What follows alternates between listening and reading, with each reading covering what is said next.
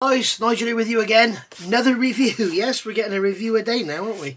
Um, another box, and this has come from Anyz over in Germany, www.anyz.de. And uh, this is a one-man band. It's Tom. Uh, great little company. Go and have a look. There's lots and lots of detail accessories like cables and and um, little 3D uh, 3D printed, um, resin 3D printed little hydraulic attachments and switches and buttons and knobs and anything you could possibly think of.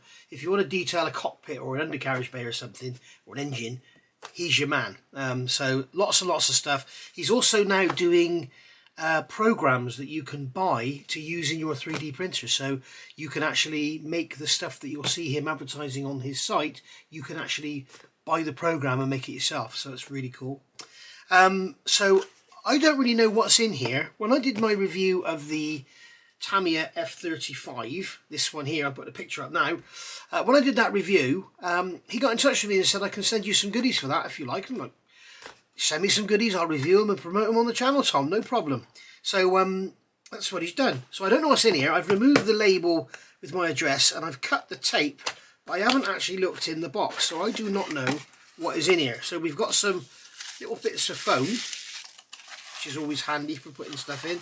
And I love getting these little boxes as well because they're great for posting out bits and pieces.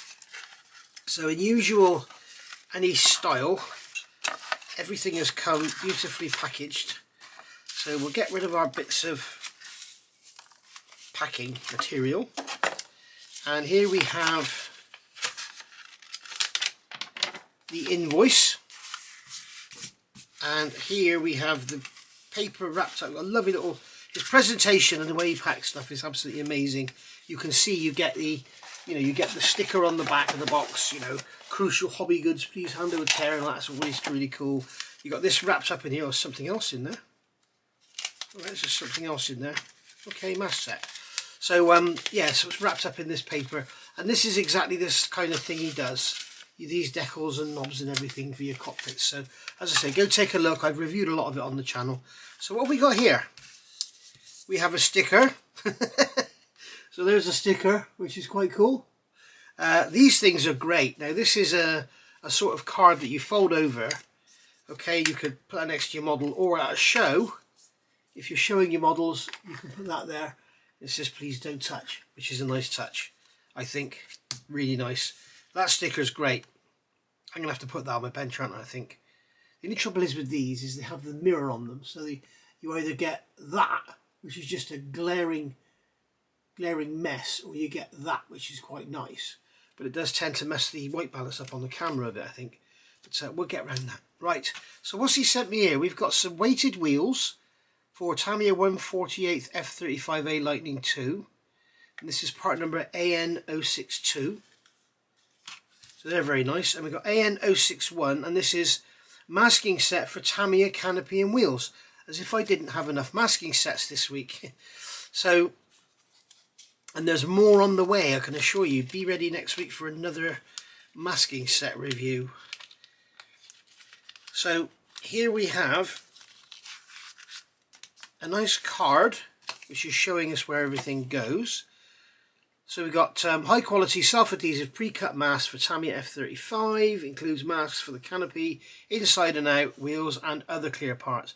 So it's nice that we've got inside and out uh, because I don't remember seeing anything on the Tamiya masks about doing the inside.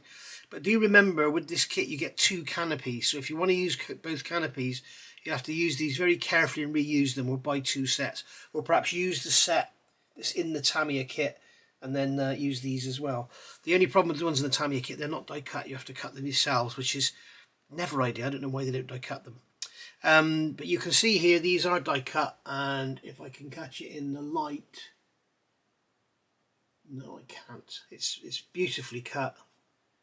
Um, very very nice indeed. And if I use appropriately these Anyz Super Precision Twizzers, which Twizzers tweezers, which I like to use for masks because they have points on the front that are so sharp you would easily cut yourself with them so be careful with them but basically we can pick out the edge and we can see how finely cut they are yeah they're gorgeous Very nice indeed.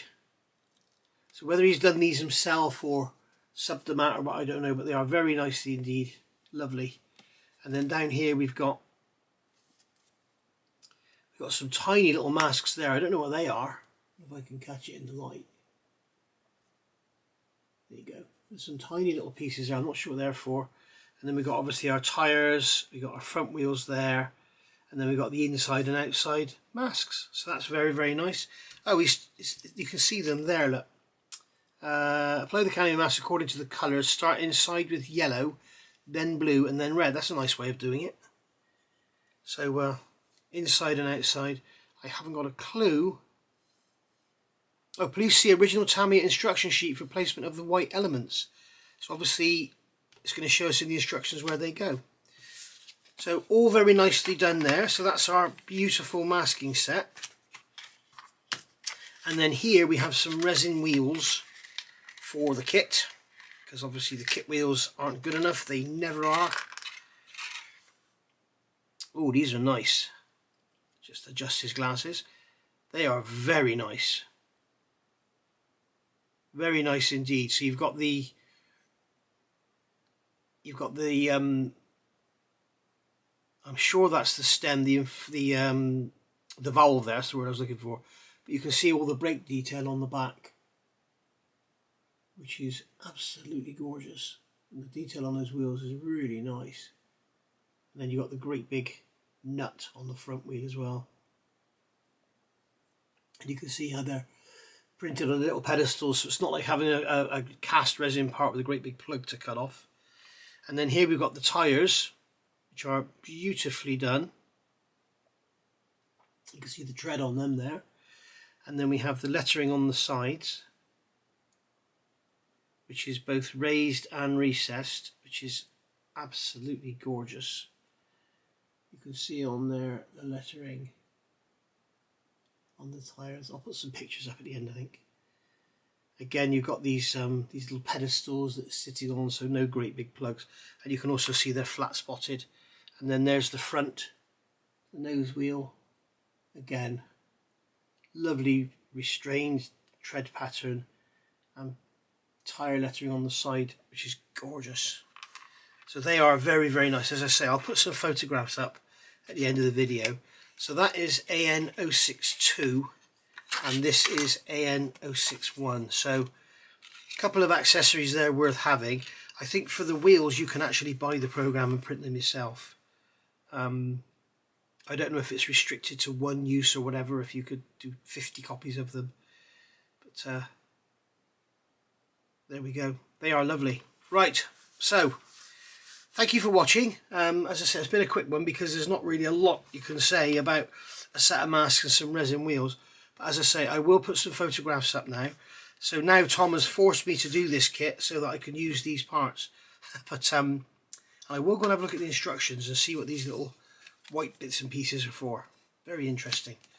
So if I can find the instructions, because there's a mountain of paper in there, it's like it's like getting the bloody the Financial Times, isn't it? It's just it's full of that model is just full of paperwork. Just quickly, guys, one other thing I've noticed about these wheels, one of these tires, while I'm taking the photograph, they're different, which is always nice. So often you get like a pair of seats in a resin set and the seats are exactly the same, so the belts are laid exactly the same.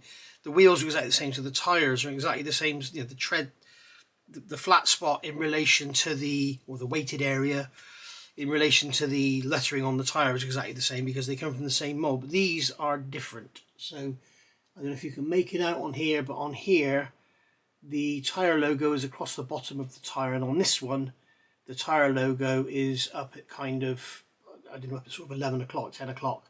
So that's a really nice touch. Same both sides. They are different. So that's really nice that he's done it like that. So thank you for that Tom anyway thank you for watching. I'll see you all soon. Bye for now